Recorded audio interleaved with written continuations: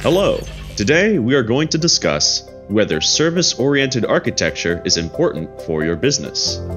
Service-oriented architecture, or SOA, is defined as a style of software design where services are provided through a communication protocol over a network. Most businesses use processes to run every part of it and helps establish goals and steps to reach success.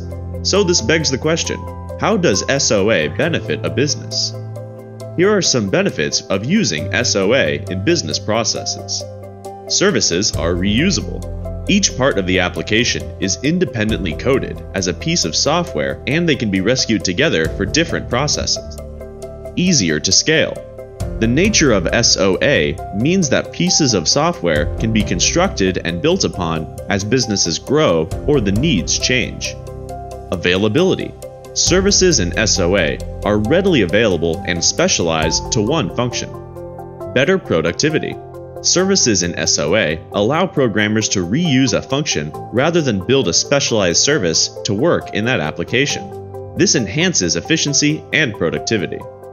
So, if your business wants to use SOA to enhance it, you should start small and see what parts of your business process would benefit most from it.